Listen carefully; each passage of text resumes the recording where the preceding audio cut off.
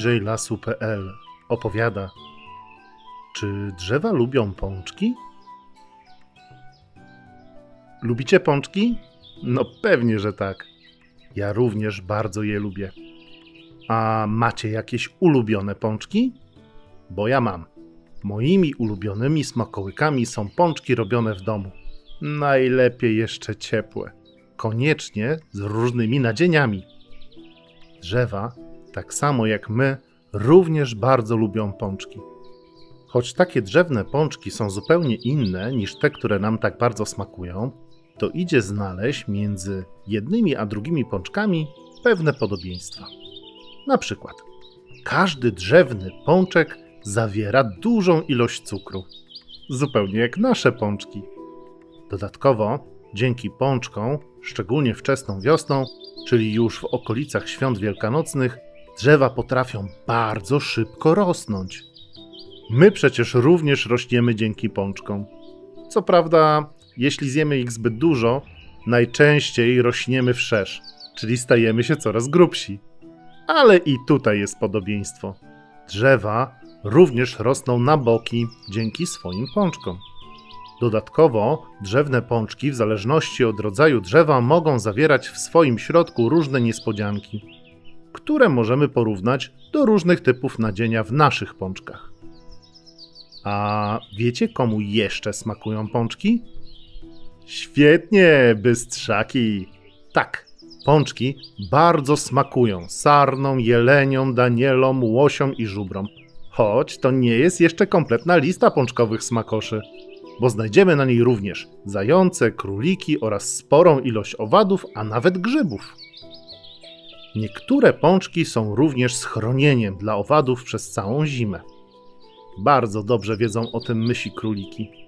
Pamiętacie te zabawne ptaszki, które są często nazywane polskimi kolibrami? Ważą one zaledwie 5 gram, czyli tyle, ile waży jedna kostka czekolady. Są one najmniejszymi ptakami mieszkającymi w Polsce. Do kolibrów upodabnia je również sposób znajdywania sobie pożywienia. Mysi królik tak jakby zawisa nieruchomo w powietrzu, zupełnie jak koliber, i wydziobuje z pączków świerkowych małe gąsienice, które się w nich ukrywają. Dziennie taki mysi królik potrafi skontrolować kilka tysięcy drzewnych pączków. Dzięki tym małym ptaszkom dużo drzew na wiosnę ma zupełnie zdrowe pączki. E, ale, ale, gdzie w ogóle znajdują się pączki na drzewach? Z pewnością, spacerując po zimowym lesie, obserwując bliska drzewa, zauważyliście, że pączki znajdują się na końcówkach gałązek lub czasem nawet bezpośrednio na pniu drzewa, prawda? Ale czy wiecie, że mogą znajdować się również pod wodą? W zależności, gdzie pączki rosną, mają one w języku przyrodników swoje specjalne nazwy. I tak, czy domyślacie się, gdzie znajdziecie na drzewie pączek szczytowy? Oczywiście, jesteście świetni. Znajdziemy go na szczycie drzewa. To ten pączek powoduje, że drzewo co roku rośnie wyżej i wyżej. Ale ta zagadka była dla Was z pewnością za łatwa. No to spróbujmy czegoś trudniejszego. Gdzie będziecie szukać pączków bocznych? Tutaj sprawa jest ciut trudniejsza, bo oczywiście będą one z boku, czyli na gałązkach, ale również znajdziecie je na pniu. To właśnie dzięki pączkom bocznym, jeśli jakaś gałąź obłamie się, na przykład od zbyt dużej ilości śniegu, to taki boczny pączek jest wiosną uruchamiany i wyrastają z niego nowe boczne gałązki. A spotkaliście kiedyś drzewo, które miało pień wykręcony do góry jak podniesiona trąba słonia? Z pewnością widzieliście takie drzewa. Lub zobaczycie na następnym spacerze. Tylko dobrze się rozglądajcie. Takie drzewa rosną, gdy ich pączek szczytowy ułamał się lub został zjedzony. Wtedy najbliższe niego położone pączki boczne wypuszczają szybko nowe gałązki i najsilniejsza z nich, czyli najczęściej ta, która ma najwięcej dostępu do światła, zamienia się w pęd wiodący, czyli z czasem zamieni się w pień drzewa. Dzięki temu drzewo ma dalej szansę rosnąć do góry. Po wielu latach ślad po takim zdarzeniu może być już prawie niewidoczny, ponieważ z czasem drzewo rośnie również na grubość i potrafi taką podniesioną trąbę słonia zlać w jeden prosty pień. Dopiero jak przetniemy drzewo, na przykład na deski, to widać będzie dzięki specyficznemu rysunkowi słojów, że drzewo straciło kiedyś pączek szczytowy. Tylko, tylko, ale, ale, tylko po co drzewom te pączki? Najkrócej mówiąc, są one drzewom niezbędne do rozwoju. Po pierwsze, aby rosnąć do góry i na boki, oraz żeby się rozmnażać. Gdy drzewa tworzą jesienią pączki, chowają do nich najcenniejsze smakołyki. Jest w nich cała masa drogocennych rzeczy, które po zakończonej zimie pozwolą drzewu jak najszybciej się rozwijać oraz rozmnażać. Czy ciekawiło Was, co znajduje się w takim zamkniętym pączku? Bo mnie bardzo. Gdy byłem w Waszym wieku, wiele razy zrywałem zimowe pączki i próbowałem w domu rozłożyć je na najdrobniejsze elementy. Oczywiście, pączki zrywałem trochę w tajemnicy przed rodzicami, bo gdyby dowiedzieli się, że przeszkadzam drzewom w zimowaniu, oj, dostałbym niezłe wyzywanie. Jednak ciekawość zwyciężała i sprawdzałem, co pączki kryją w środku. Byłem bardzo zdziwiony, ponieważ odkryłem, że w zależności od rodzaju drzewa miały one różne rzeczy w swoich pączkach.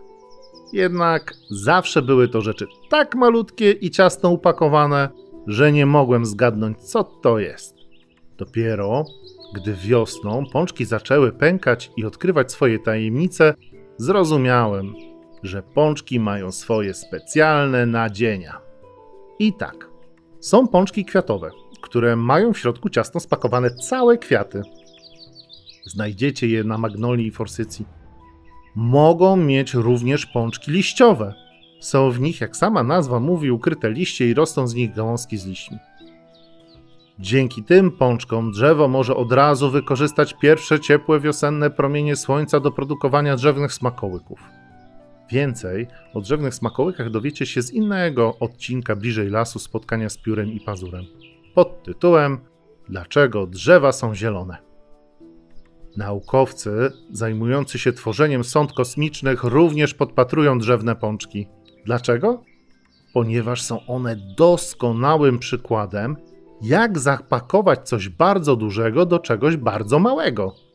A mówiąc prościej, dzięki podpatrywaniu, w jaki sposób w pączkach ułożone są liście lub płatki kwiatów, kosmiczni naukowcy wiedzą, jak złożyć arkusze specjalnej cieniutkiej folii, aby po złożeniu zajmowała ona jak najmniej miejsca, a po jej rozłożeniu wielkość powierzchni takiej folii była jak największa.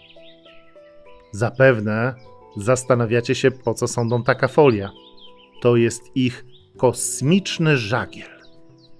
Dzięki folii i ciśnieniu z światła słonecznego sondy mogą się poruszać w kosmosie.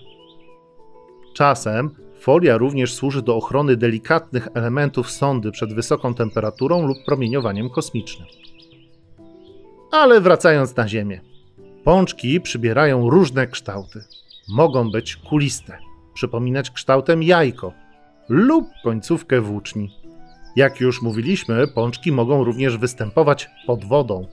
Przyrodnicy nazywają je wtedy turionami i pozwalają one przetrwać zimę niektórym roślinom wodnym. A czy zastanawialiście się, czy drzewa iglaste również mają pączki? Oczywiście, że mają. Skrywają w nich pęczki nowych igiełek. Szczególnie łatwo zobaczyć je wiosną. Są one dużo jaśniejszego zielonego koloru od igieł zeszłego roku. Wszystkie pączki kryją w sobie bardzo cenne substancje, nie tylko odżywcze, smakujące zwierzakom, lecz również lecznicze dla ludzi. Właśnie dlatego od setek lat są one stosowane w medycynie naturalnej, ale również i nasza współczesna medycyna nowoczesna z nich korzysta. Przed setkami lat leczeniem zajmowali się alchemicy, znachorzy i znachorki oraz wszelkiego rodzaju leśne szeptuchy, które przekazywały sobie z pokolenia na pokolenie tajemne przepisy na różne maści lecznicze i eliksiry. Dzisiaj leczeniem zajmują się głównie lekarze. Oni również zapisują nam tajemnicze eliksiry, prawda? Nie wierzycie? No to proszę przykład. Z pewnością, gdy chorowaliście, rodzice podawali wam syrop o nazwie tusipini, którego głównym składnikiem jest wyciąg z pędów i pączków sosny. Rodzice delikatnie smarowali was również rozgrzewającymi maściami o zapachu żywicy, które miały ułatwić wam oddychanie w nocy, prawda? Taką maść również robi się z substancji będących w pączkach drzew iglastych. Jest nawet cała dziedzina medycyny, a dokładnie część ziołolecznictwa, zajmująca się leczeniem ludzi z wykorzystaniem pączków drzew. Nosi ona nazwę gemmoterapii. Jednak nie tylko medycyna korzysta z cudownych właściwości roślinnych pączków. Pączki wykorzystywane są również do produkcji wielu najlepszych na świecie kosmetyków, na przykład kremów i maseczek pielęgnacyjnych, które potrafią zdziałać prawdziwe cuda. Zróbmy eksperyment. Przygotujemy dzisiaj prawdziwy brzozowy cudokrem, który wykorzystamy jako najprawdziwszą kosmetyczną maseczkę. Brzozowy cudokrem w cudowny sposób łagodzi wszelkie podrażnienia i zabrudzenia na naszej skórze oraz pomaga walczyć z trądzikiem, czyli pryszczami. Poproście o pomoc mamę lub tatę w tym eksperymencie. Ejże, nie śmiejcie się. Tatowie też potrafią robić kosmetyki. Ale, ale, zanim zaczniemy pracę, pamiętajcie, bezpieczeństwo przede wszystkim. Jak prawdziwi naukowcy pracujący nad kremami w profesjonalnych laboratoriach, pamiętajcie, aby przed zastosowaniem kremu sprawdzić, czy nie jesteście na niego uczuleni. Zanim nałożycie go na twarz, posmarujcie nim okolice nadgarstka, tam gdzie macie najdelikatniejszą skórę i zostawcie na 15 minut. Po tym czasie zmyjcie krem i zaczekajcie jeden dzień. Jeśli na drugi dzień nie będziecie mieli zaczerwienienia lub krostek w miejscu testowania kremu, możecie spokojnie stosować brzozowy cudokrem. Nie macie na niego uczulenia. Przepis na cudokrem z świeżo rozwiniętych liści z pączków brzozy jest bardzo prosty. Zbierzcie młode liście brzozy, najlepiej takie, które całkiem niedawno rozwinęły się z pączków. Możecie je zbierać od kwietnia do połowy maja. Potrzebujemy ich dwie garście. Zbierajcie liście z drzew daleko od drogi i nigdy nie ogołacajcie całego drzewka z liści. Następnie zebrane liście wrzućcie do jakiejś miski i zostawcie na parapecie, tak aby mogły wyschnąć na słońcu w temperaturze pokojowej. Następnie musimy zmienić liście na proszek. Można to zrobić w moździerzu, lub jeśli nie macie takiego urządzenia, możecie wziąć dużą łyżkę lub kulkę do ucierania ciasta i tak długo rozcierać nią wysuszone liście o brzegi miski, aż powstanie drobny proszek. Bierzemy pół łyżeczki brzozowego proszku i mieszamy z czubatą łyżeczką kremu nawilżającego, na przykład Nivea. Najlepiej zapytajcie swojej mamy, jaki krem możecie użyć, bo niektóre kremy zupełnie nie będą się nadawać do naszych potrzeb. Następnie wszystko razem mieszamy i mamy gotowy cudokrem z brzozy, który ma bardzo zielony kolor. Teraz czas na zastosowanie. Umyjcie dokładnie twarz wodą i wytrzyjcie ją do sucha.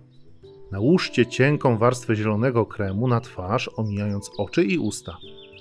Aby krem jak najlepiej się wchłonął, nie rozsmarowywujcie go jak masła na chlebie, tylko wklepujcie go delikatnie w waszą skórę.